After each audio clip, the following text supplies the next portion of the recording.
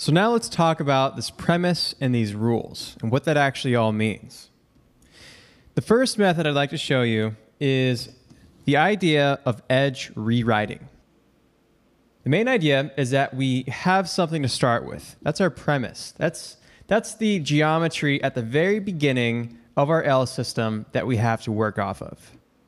And the idea is that we're going to make some sort of rule which is going to rewrite whatever we have in the premise. So in this case, whenever we start with a premise, this is what exists in our scene. If I'm to, let's say, draw over this for a second, we have a point right here which represents the movement of f, right? So whatever rule gets applied, it's going to apply to whatever is there.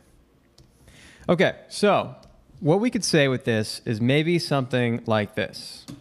Let's try to replace f with f, and we're going to turn right, and then let's go forward too.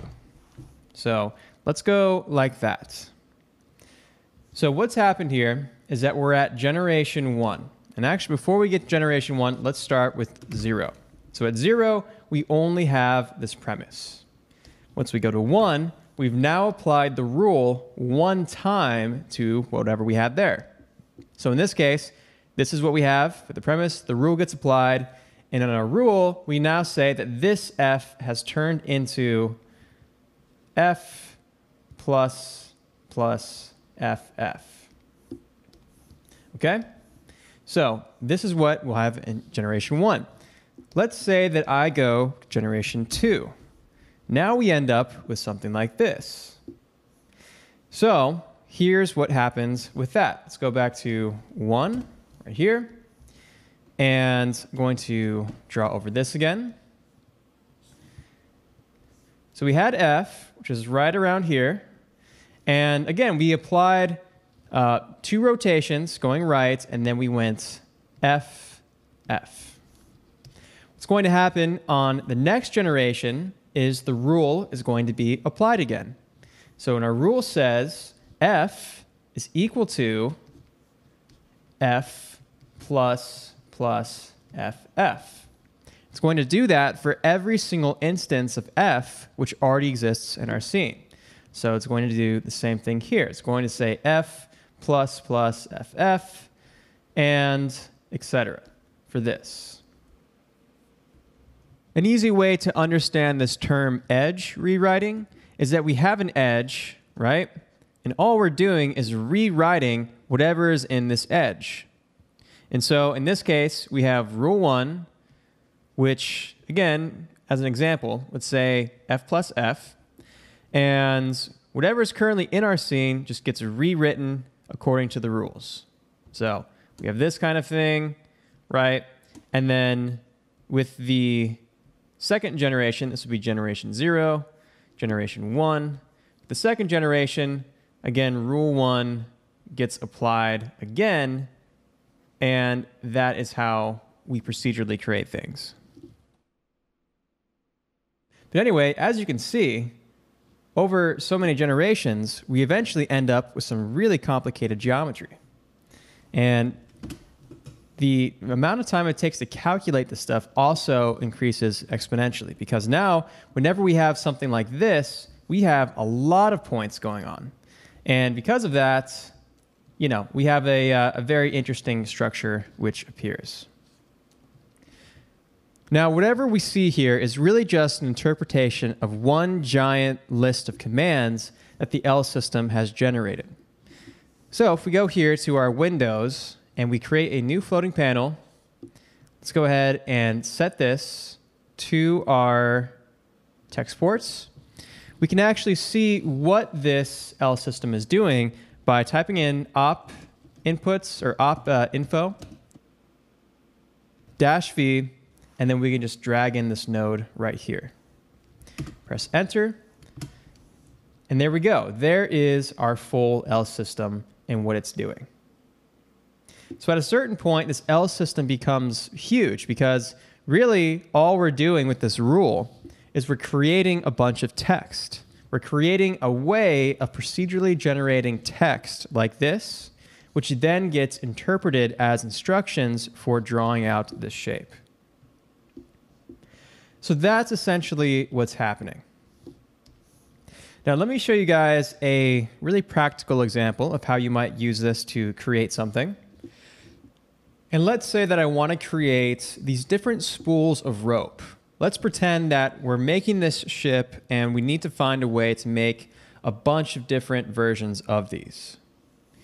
Well, to do that in an L system, it's actually very simple. Let's actually change our premise here to F plus F and then with our rule, I'm going to say f is equal to f plus f and press enter. Now, as I turn out the generations, we're going to eventually create a circle like that. And what we can do in order to start adding a bit of randomness to this is adjust this random scale.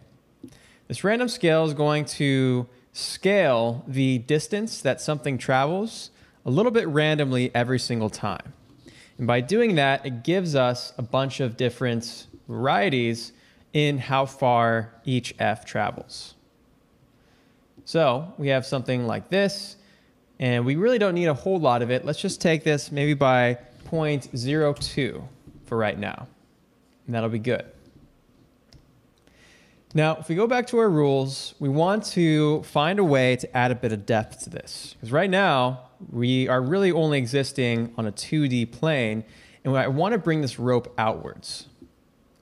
So one of the commands to, to turn in uh, the z direction along here is by using the forward slash. So if I do that, and then let's go ahead and set a small angle to start of let's say one degree, we'll end up with something like this. Now, as I adjust these degrees, so I can try 0.5, maybe 0.25, it's really not ideal to adjust it right here every single time. So another thing that you can do with this L system is you can create your own custom variable that'll fit inside of these parentheses.